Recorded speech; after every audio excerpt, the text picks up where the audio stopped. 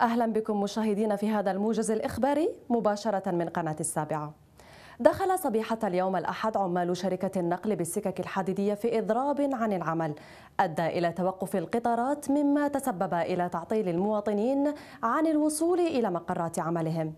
لقد علمت قناة السابعة أن إدارة الشركة قد بدأت المفاوضات مع العمال لتوقيف الإضراب. وسنوافيكم لاحقا بالتفاصيل. في موضوع آخر تم إقصاء عائلتين من قاطني السكنات الفوضوية من عملية ترحيل من حي مسكن بودربالة بالسويدانية وذلك من العدد الإجمالي للعائلات المستفيدة.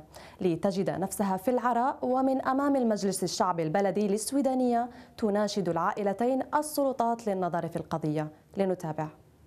آه، نشد السلطات المعنية. ونشد آه، رئيس الوالي العاصمة باش يجي ينظر في حالتنا أنا أختي مقصيين من عملية استفادة من عملية ترحيل 25 6 2019 من حي 50 مسكن بودرباله وحنا وحنا من السكان الأصليين لمدينة السويدانيه العائلات المستفادة هي 62 عائلة.